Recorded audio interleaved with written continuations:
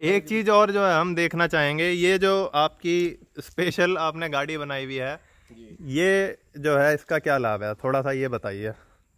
Sir इसका एक तो ये है कि हम छोटा बच्चा जो लावे हाँ जी हाँ जी। वो इसी में रख के लावे कितने आ जाते होंगे इसमें? इसमें दस बच्चे आ जाए और क्या काम आता है और इसमें? इसमें इनके लिए चोकर चना इनका- सामान सा, बाज़ार से आवे वो इसी में रख लावे जी जी। तो देख रहे होंगे आप, और ये इनका जो है डॉग है, इसको तो इन्होंने बाल ही कटवा रख के बेचारे के।